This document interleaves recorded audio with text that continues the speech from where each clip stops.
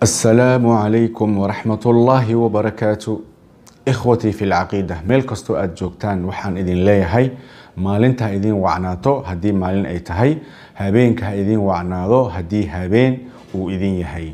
Waa sheekh rimi janal ku soo dhowaada.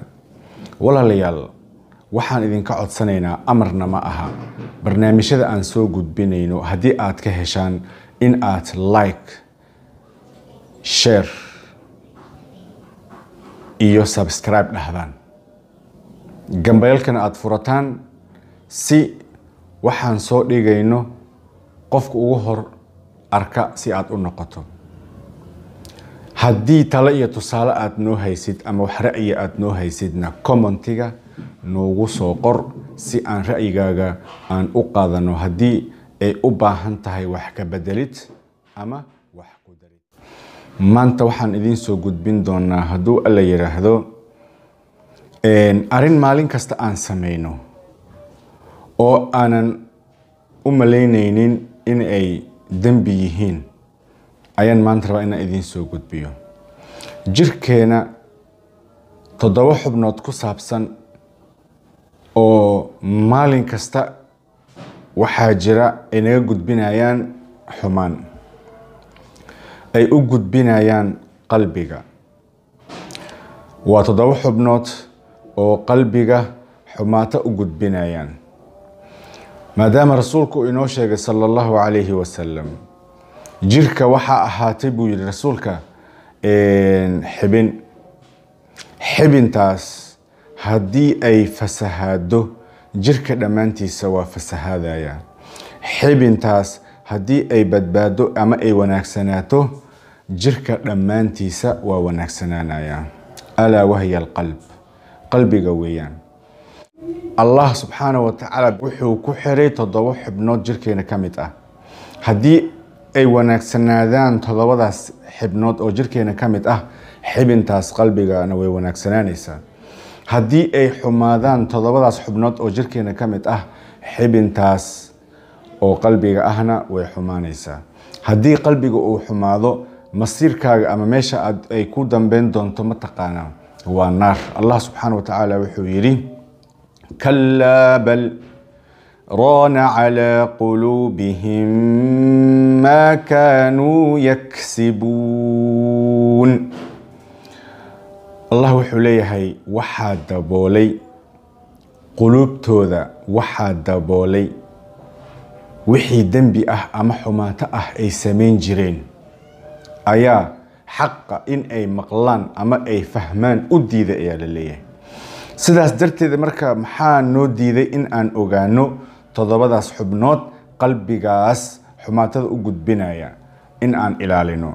Wax noo diiday ma jiro lamaanic sidaas darteeda ayaan soo gudbinayaa iga dhagaystaa xibinka koowaad ee qalbiga qalbiga uu u gudbinayo xumaatada waxa weeyaan labadaada indhood.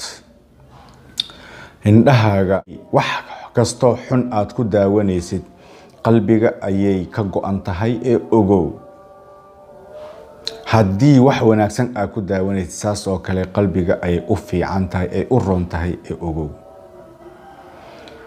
Waayahay xibinka labaad waxa weeyaan oo qalbiga xumaatada u gudbiyo waa labada dhegood labadaada dhegood haddii kheyrka u adeegsanaysid qalbigaaga ay u gudbinayaan oo waana laga abaalmarinayaa haddii xumaato aad haddii xumaato aad ku dhegaysatid qalbigii ayay u gudbinayaan xumaatidii.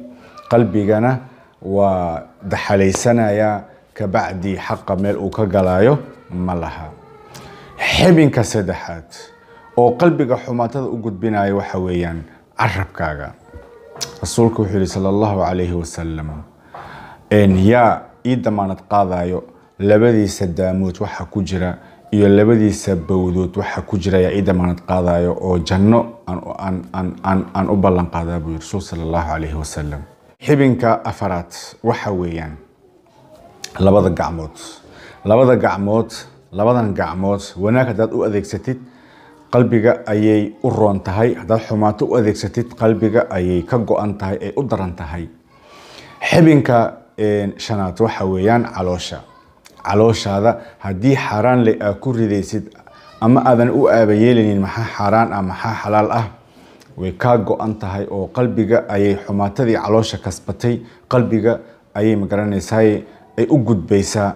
Kabacdi qalbiga asna waa daxalaysanaya xibinka ee lixaad waxa weeyaan oo xumaatada u gudbiya qalbiga waa farjiga ama xubinka taranka qofba siduu u yaqaano.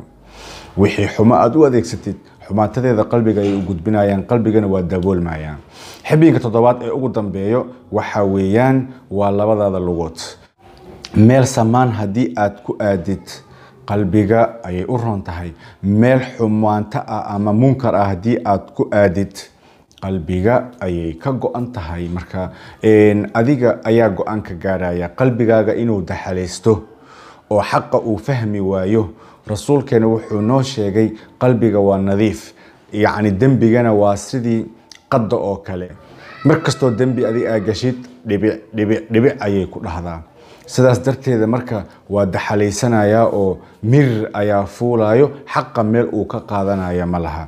Sidaas darteeda walaalayaal waxaa lanooga baahan yahay xibnahan aan soo sheegnay toddobada ah in aan ilaalino si aysan xumaato aysan ugu gudbinin qalbigeena. Allah subxaana watacaala qalbigu unbuu daana unbuu daalacanaya maxaa yeelay yowma tubla saraa'ir marka la leeyahay yowma tubla maalinta aakhiro waxaa la soo saaraya wixii qarsanaa. Qalbiga waa wixii ku qarsanaa.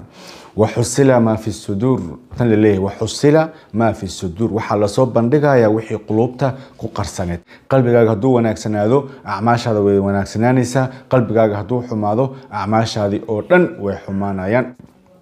Ikhwatii fi lcaqiida in sha allah bidn illahi alkariim waxaa inoo ballan ah toddobadaas xubnood in aan ilaalino si qalbigeena uu u badbaado. Hada wallahu aclam subxaanaka allahuma wabixamdika ashhadu an laa ilaha illa anta astaqfiruka